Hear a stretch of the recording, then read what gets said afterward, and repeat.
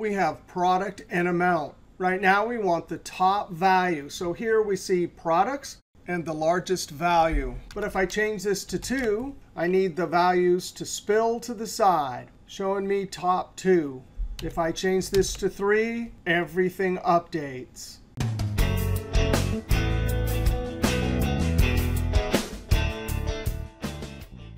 Now we'll see two ways to solve this. Office 365 or Microsoft 365 method, and then an old school method. Now you can think of this in two parts. We need to pick out just the amounts for a particular product, and then find the nth largest values. Well, we can use the amazing filter dynamic array function. For array, those are the values we actually want to spill.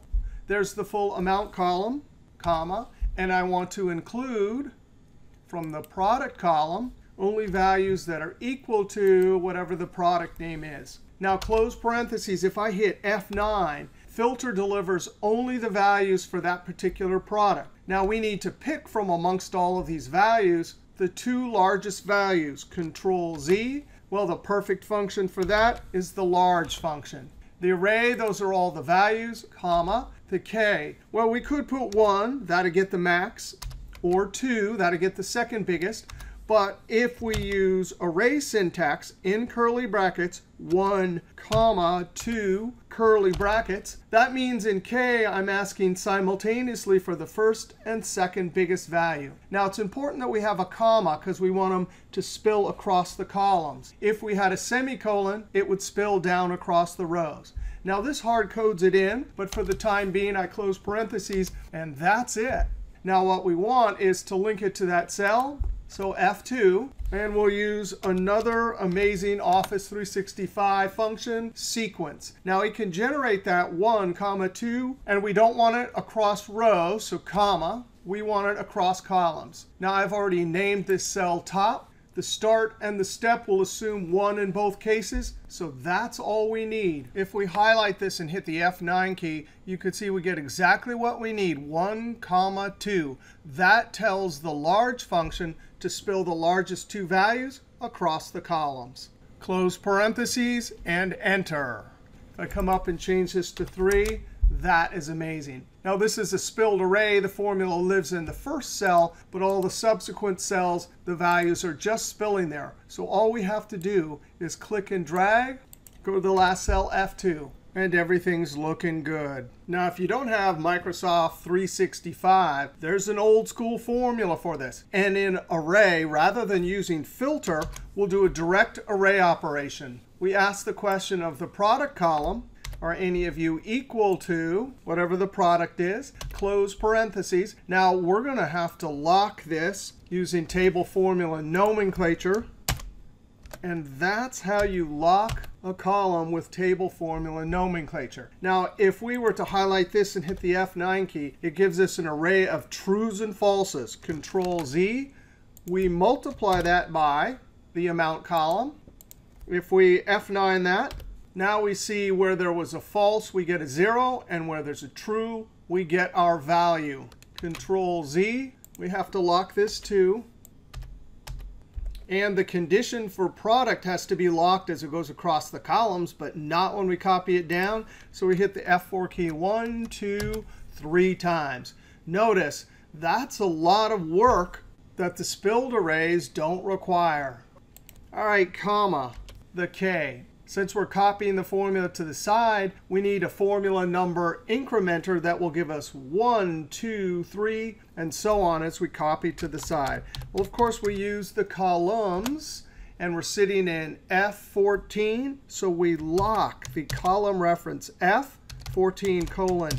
And don't lock the second column reference. That way, columns will count how many columns there are. F to F is 1. But when we copy it to the side, that will move to G, and that will be 2. And that's our formula. Close parentheses. Oh, but there's more. These are direct array operations. And if you don't have Microsoft 365, you have to tell Excel that this is an array formula, and they have to be calculated as arrays. And the way you do that is with the keystroke Control Shift Enter. you immediately go up to the formula bar and verify that those curly brackets are put in. Those curly brackets are Excel telling you it understood that this is an array formula and calculated it as such. Now we copy to the side and then copy down. I'm going to go to the diagonally furthest one away and hit F2. I want to verify that all the cell references and ranges are working. And they are. Now, what happens if we change this to 2? Well, look at the magic of spilled arrays. It just disappeared, but not here. That means if we want it to disappear, F2, we have to use columns again, Control C, and use the if function.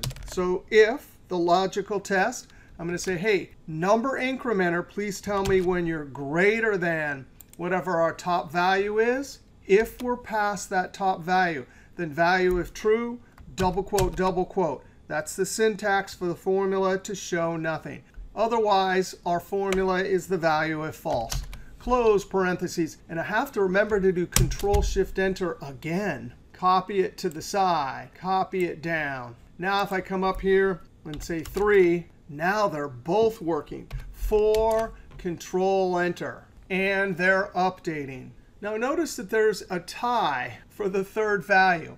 I think most of the time when you're extracting top three, you probably don't want to see that. But if you did want to see it, for example, 4 here for top three, but 3 here, we'd have to look up for each one of these products whatever the actual value is for the third biggest, and then extract the values that are greater than or equal to that. Well, we could do that, but we'd first have to extract the third biggest value for each product. That formula would be the same as we just did, but instead of an array of items, we just put the top value. That extracts the third value. And then our formula would be filter with two conditions, equal to the product and greater than or equal to the hurdle. Then we would sort. And then because the original table inside a filter is vertical down across the rows, we have to transpose to display them horizontally. But that gives us what we want.